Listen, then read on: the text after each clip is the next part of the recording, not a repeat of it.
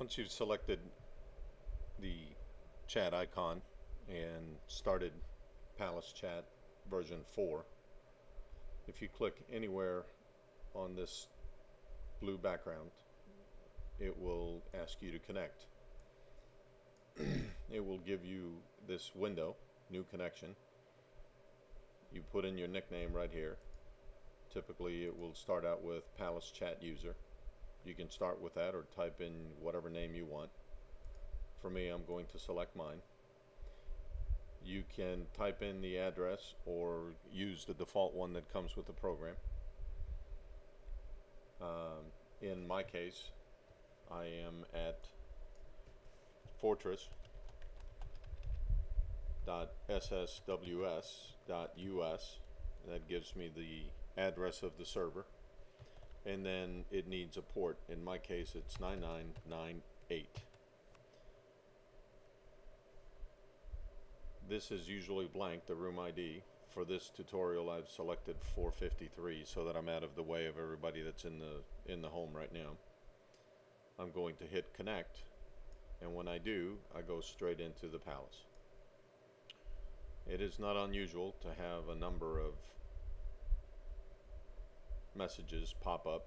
They tell you different things about how this particular server is set up. Uh, they're also going to show up on the log window. So you can read them down here on the log window. And I will explain how to get to that on another session. Right now this is simply to show you how to get in.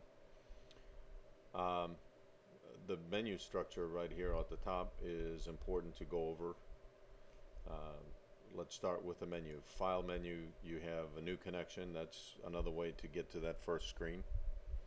You can create it in a new tab. You can disconnect. You can close the window. And then there are some things that are of use when you're more of an advanced user than right now. You can, in the edit, you can turn sounds on or off. You can turn speech on or off, or you can click on options it will display a window of various different options. Uh, the one that you may want to fill out is this profile where I describe this is Argos of the Builders, pledged to the homestone of the Fortress of Sophronicus. I'm also the city administrator and you may reach me and all these things. It tells me what my home palace is so I can record exactly where I want to go when I get the click on the icon to enter palace. Uh, let me close that. I'll cover that a little bit more. Eh, there are different views that you can have. You can look at the toolbar, which I have displayed. You see how that goes away. View toolbar, and I now have it back up here on top.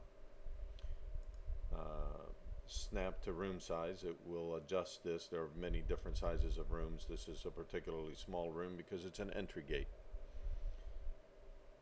We can show the current avatar we can change our text size, make the text bigger, make the text size normal, make the text smaller, show the doors, and I'll explain what that is later, show the names of the people, and then change your screen name. If right here you have the screen name that came in with Palace chat user, you would then type in whatever screen name you want. Bookmarks show you the different places where you have been. You can add a bookmark and you can see many different palaces that I have on my bookmarks.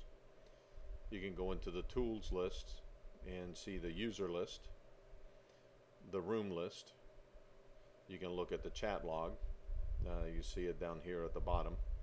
If I want to turn it off, I just click that and the chat log goes away.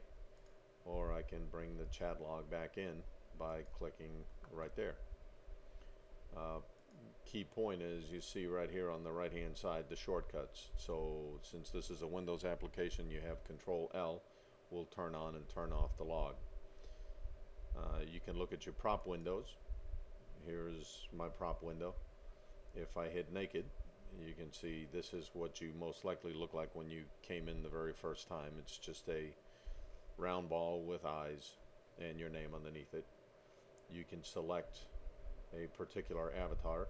I'm going to pick uh, my favorite Derek Jeter and uh, let's hit this out of here. Uh, now you know how to come in and what some of the logs are, some of the tools. Next time I'll cover how to actually move around within Palace. Thank you very much.